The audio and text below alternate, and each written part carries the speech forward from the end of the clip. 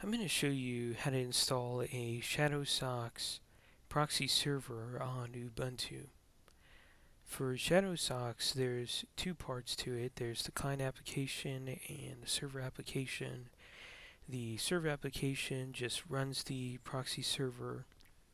For the client application, there are several options to choose from for each platform. The one that I recommend is Outline. It's the simplest and easiest to use. To connect to your proxy server, all you need is a URI. And it's actually a base64 encoded URI, and uh, we'll see what that looks like later in this tutorial. Okay, so to install Shadowsocks on Ubuntu, I'm going to follow the instructions in the documentation here for Ubuntu and I'm actually just going to use the same command that they have here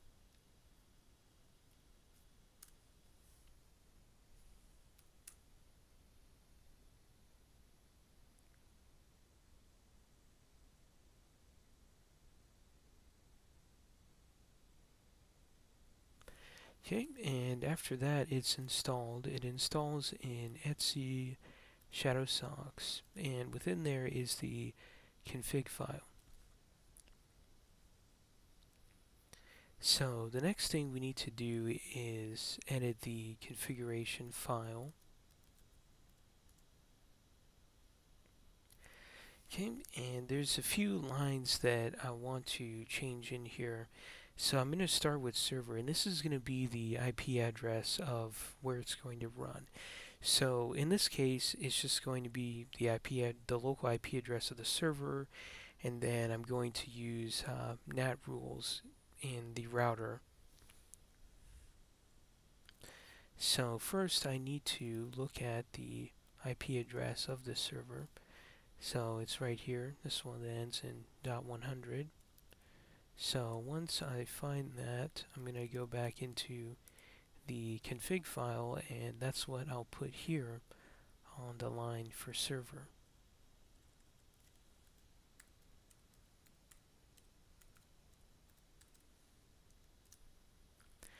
Okay, and the next line, mode TCP and UDP, uh, just leave that one, that's good.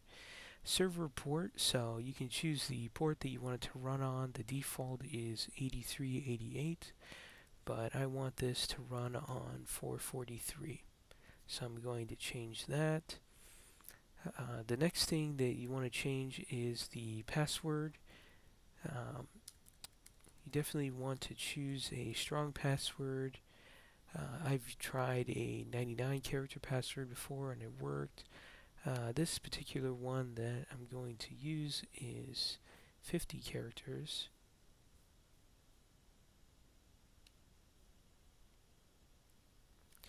Okay, and the next thing that you'll want to change is the encryption method.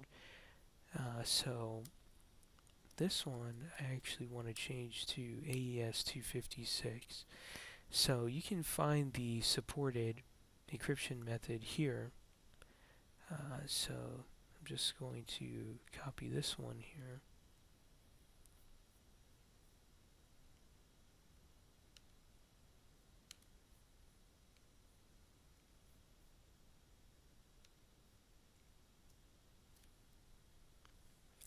And after that, uh, that's all we need to do in the config file. So I'm just going to save this file.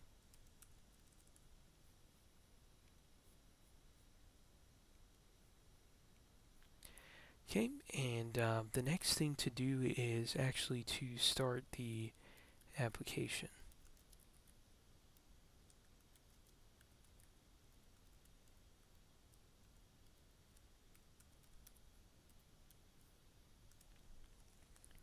Okay, so with that started, I'm going to check the status. Okay, and I can see here it's got the wrong cipher and um, so next I just want to check what port that it's running on. Okay, and yeah I mean I can see it's running localhost 8388 so that's not what I wanted. So I'm actually going to do a restart on this application. And it should take on those items that I put in the config. So let me check the status. Okay yeah and I see AES 256 GCM listing on 443, that's the correct IP address. And I can look at netstat again. Okay, yep, and uh, there you go. So we've got UDP and we've got TCP there. So that's good. So after you do all of that, what you'll want to do next is make the URI. And there's actually a tool here that you can use to generated and the format is up here. So it's method password at hostname port. So the method, well that was actually the encryption. So I'm just going to come back here and copy. So it's going to be AES 256 GCM Okay, and the next thing was the password, and that's actually going to be this 50 character password here.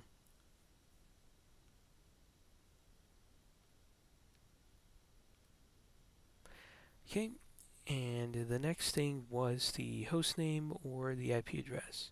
So if you have DNS set up, you could use that um, host name uh, but in this case I'm just using the IP address. Okay and the next thing is the port. So um, you notice I'm just using the internal IP address uh, because in this tutorial everything here really is just for testing.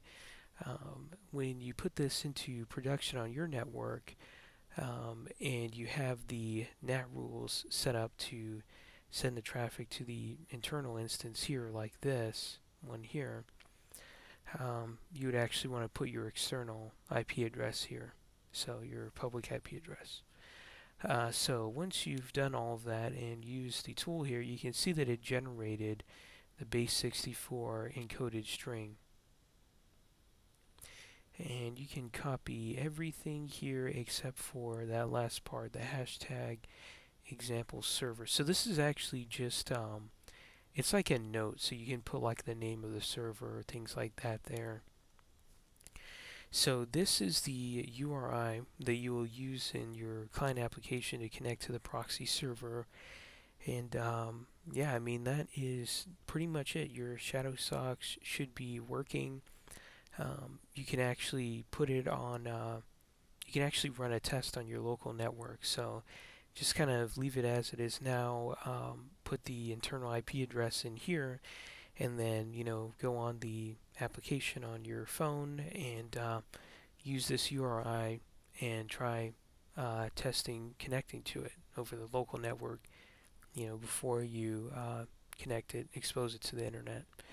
Um, now, the thing with this encoded string here is um, you will want to protect this just like it's a password.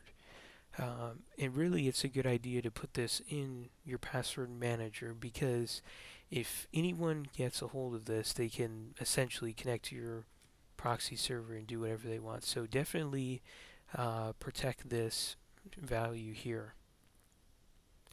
So the next thing that I'm going to show you is uh, optional. It's called fail2ban.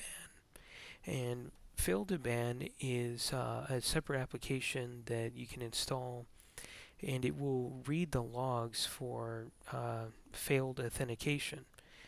And after a certain threshold, which I believe is uh, three failed logins, it will actually block the IP address. So definitely a very useful tool for uh, anything that you're going to expose uh, publicly on the internet.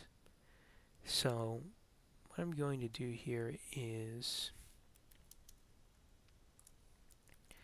install fail to ban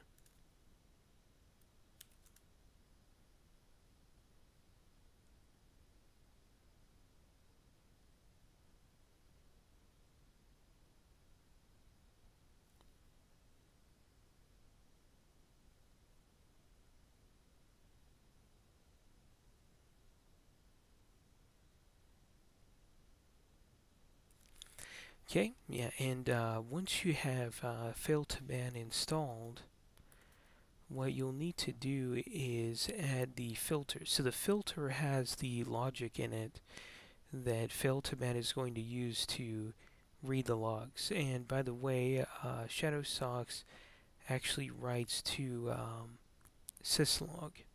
So it's going to be reading syslog. So uh, you can copy and paste this um, into the terminal here and it will create that file for you. Um, I actually like using uh, Nano to do this so I'm actually just going to copy this and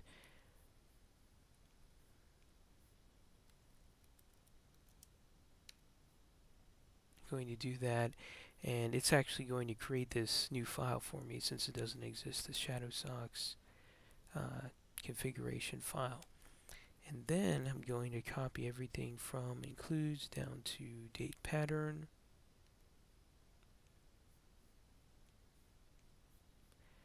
And I'm going to paste it in here.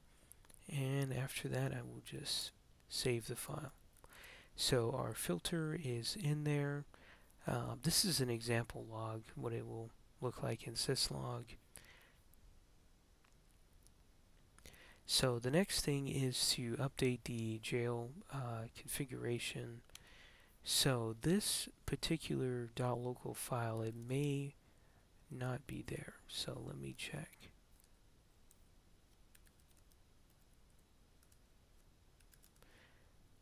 See, yeah, so that jail.local file, it's not in here. So I'm going to go ahead and create it. And I'm going to copy everything into here. And within this configuration, uh, what you'll want to change is the port if you're using a custom port like I am. So I'm going to put 443 there. Uh, max retard try is 3, so um, that is the amount of failed logins that you're going to allow. Uh, so I think 3 is good numbers, so I'm just going to leave that and I will save. Okay, and after that we just kind of follow the instructions here and um, I'm just going to copy what they have here. Well, actually, I'll just type it in. So, system control, restart, fail to ban.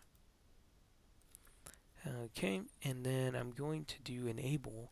So this will make the application start um, on startup. So whenever the system starts,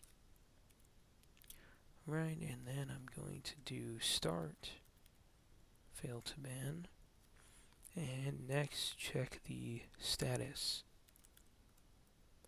Okay, yeah, active, running, everything looks good there. Um, the next thing I'm going to look at here is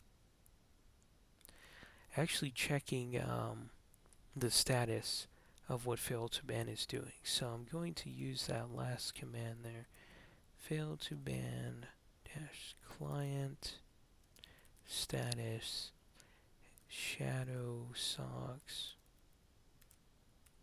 Libev okay and this is just going to give me a summary of the activity that's going on. So uh, it will show you like the number of IP addresses that have already been banned and uh, how many failed logins, so definitely a useful tool to have.